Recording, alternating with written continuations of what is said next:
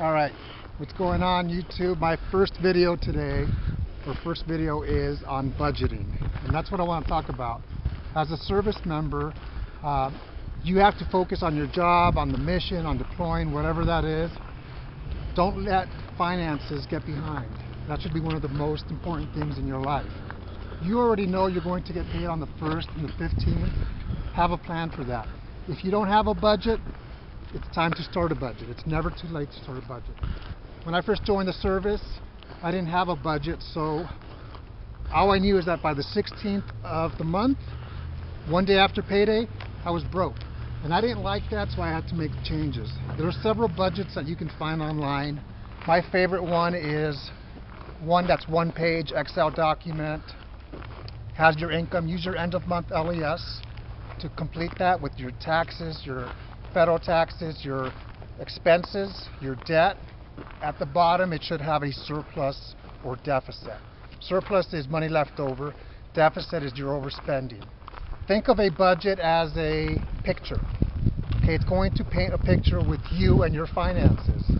Once you have a budget, what changes, if any, do you want to do? Do you want to reduce debt? Are you good to go? Do you have an emergency fund as a category on your budget?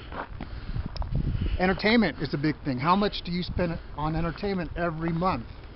Is your allotment for entertainment is it realistic or is it something that you just overspend? So a budget is very very important. Have some notes here.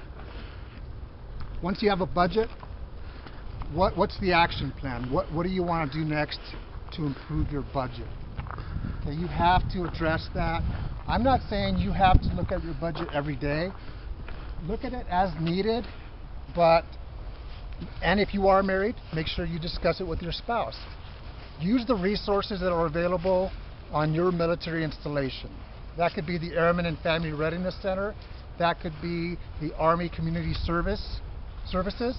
That could be the Fleet and Family Support Center. You could also use Military One Source.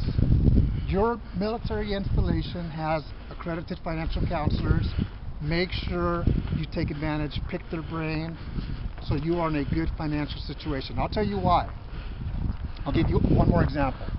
My goal was to do minimum of 20 years of active duty service, but at right, right under 10 years, the military, in my case the Air Force, said thank you for your service. Uh, have a great day. You have to separate because there was a reduction in force. And as you know, we are facing very tough times right now. So make sure you have a great plan A, but a greater plan B. It begins with the budget. And I'll address other categories throughout. If you have any questions, contact me or use the resources that I talked about near you and take advantage of them. Hope you have a great day. Take care.